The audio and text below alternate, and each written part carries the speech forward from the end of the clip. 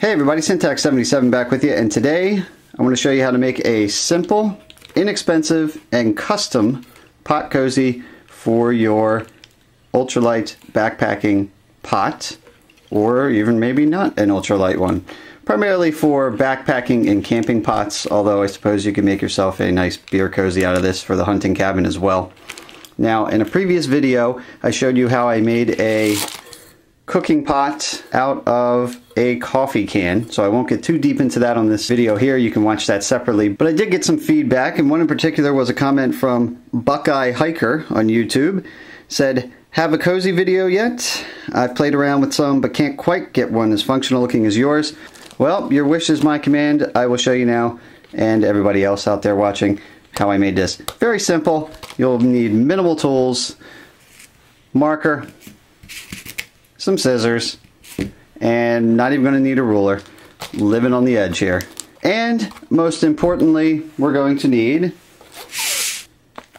something called Reflectix. As you can see, comes in a big old roll like this. Let's get it in frame here.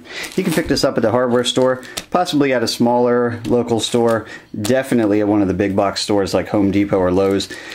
It's, again, called Reflectix, spelled like this. And just walk in, you can ask somebody, hey, show me where the Reflectix is, or just go over to the insulation aisle. It's going to be with your other house wraps and insulation most likely.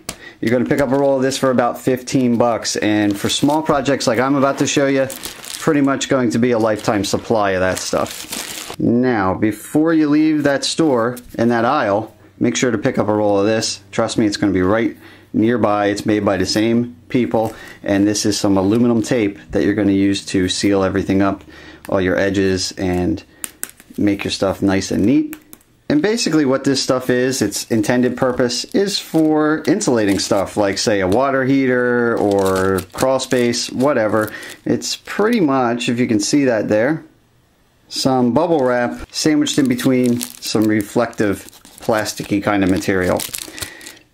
And that is going to make for a pretty lightweight and very heat insulating material. All right, let's get down to it. Materials back on the table. Got our cooking vessel of choice. In my case, it's a coffee pot. In your case, it could be a soup can or a titanium pot that you bought, whatever. And let's measure out our custom roll. Get that on the table there. Take our pot down flush at the bottom and just roll it up. That's why we don't need a ruler alternate view there, you can see what we're doing here. We're just coming around until we meet back up. And if you're to err on the side of either undershooting or overshooting, make it a little smaller than you need because that'll allow you to, uh, you'll just put tape over that and fill that gap. Here's where your marker comes into play. Take that and just mark the edge there. Also important, of course, we're to mark how tall we want this to be. Now, Preferably, we don't want it all the way to the top of the can. We want to leave a little bit of a lip there in case you're drinking out of this cooking vessel. You just want enough that it's going to hold most of the heat in and protect your hand, but I like to leave a little lip. I'll probably bring mine right to around here. That'll give me a little extra space for drinking. Just using another piece to work this out. Told you I wasn't going to use a ruler. Now we're just going to cut it. I think you could probably have guessed that.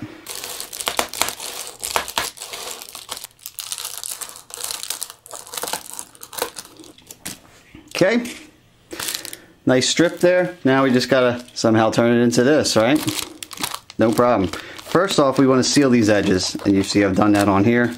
So it's all nice and exposed right now. We're gonna seal that up. Just gonna take my tape, and this is actually thicker than needed, so I'm gonna cut it down a bit just to reduce materials. Smooth that out a bit, cut it in half, maybe two thirds, and I can use this other strip later.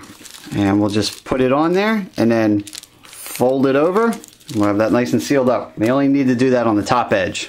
We'll just peel that paper backing off of this metallic tape, being careful not to let it stick to itself because it is super sticky. And that would be a problem.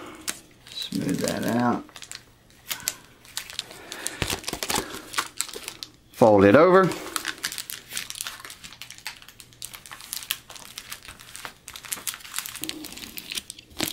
We got our top edge now. And Let's complete the circle, roll it around the can. Now, like I said, you can have a little bit of a gap there if you want, if you want to leave some so that you can actually get this thing in and out of here without it being too snug. So I'm just going to hold it right about there and put a strip of tape on that. You can use a little bit of that leftover that we trimmed down a second ago. Leave a little bit hanging over the top there. We'll fold that over in a second. And now we'll slip the can back out. And I just want to fold that over.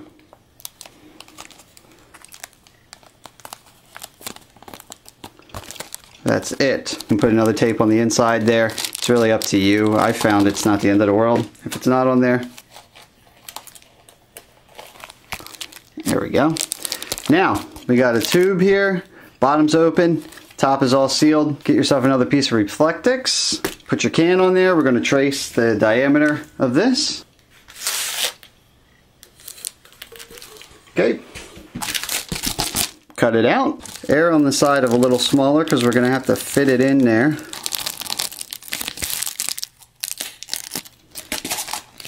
Circle. Get your can back out. Put it bottom side up. Take this with the rough side up. Slide it over there. We'll use this as a base to get everything nice and tight. Take your circle, put it on there. Don't push too far, but get it flush. There we go, nice and flush. And now we're simply going to take a strip of tape, put it around the edge here, two separate strips, and put that as evenly as possible around there. Careful to keep that flush. It's not the end of the world if you're not perfect, but ideally it'll be, you know, in somewhat good shape. And now we need another piece. Overlapping the other side. Now you've got this big old piece of tape sticking up there. Good luck just mushing that down. So what we're going to do is take our scissors and cut a bunch of notches every, I don't know, a couple inches or so. Like so. Go all the way around.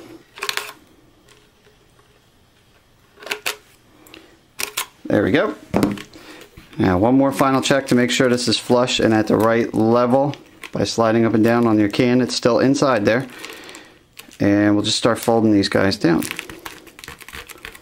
See what I'm doing there? I'm just folding them down, keeping the can in there to maintain pressure and shape. And work our way around in the big old circle. Final piece one more push to get it really nice and sealed. Pull it out, and that's it.